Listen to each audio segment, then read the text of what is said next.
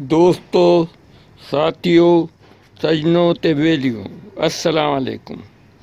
ہم نے آپ کو تسلے میں دکھایا تھا کہ مولیاں کس طرح لگائی گئی تھی۔ اب یہ مولیاں تقریباً تیار ہو چکی ہیں اور ایک مولی تو آپ یہ دیکھ سکتے ہیں کہ کتنی بڑی ہو گئی اور باقی بھی یہ مولیاں یہ تیار ہو رہی ہیں اور آپ ان مولیوں کو غور سے دیکھ سکتے ہیں۔ یہ یہ مولیاں یہ تشلے کے اندر تیار ہو چکی ہیں۔ اب ہم ان مولیوں کو ایک ایک کر کے جو جو جو مولی تیار ہوتی جائے گی، اسے تشلے سے نکالیں گے اور اس مولی کو پھر ہم بآسانی گھر کے استعمال کر سکتے ہیں۔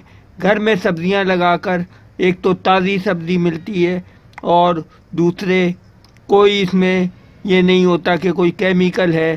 یا کوئی گندے نالے کا پانی ہے اور یہ بہترین سبزی ہوتی ہے، اس لیے ہم سب کو گھر میں سبزیاں لگانی چاہیے، چاہے چھوٹی سی جگہ ہو، اس میں کچھ نہ کچھ، کہیں لہسن، کہیں پیاز، کہیں ٹماٹر اور دوسری سبزیاں ہم لگا سکتے ہیں۔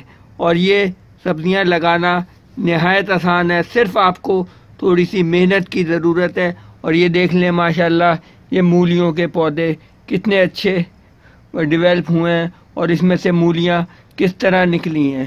اور یہ دیکھیں، آپ یہ یہ مولی اب یہ نکلی ہے تو آہستہ آہستہ یہ بڑی بھی ہوتی چلی جا رہی ہے۔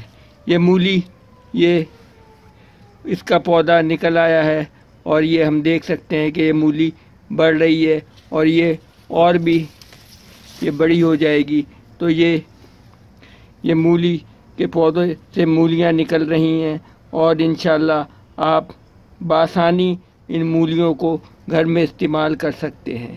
اور یہ مولی آپ دیکھ سکتے ہیں کہ یہ آہستہ آہستہ اور مولیاں جب پوری تیار ہو جائیں گی تو اس کے بعد یہ مولیاں بہت آسانی سے آپ استعمال کریں گے اور یہ ذائقے میں اور دوسرے اس میں بہت ہی بہتر ہوں گی۔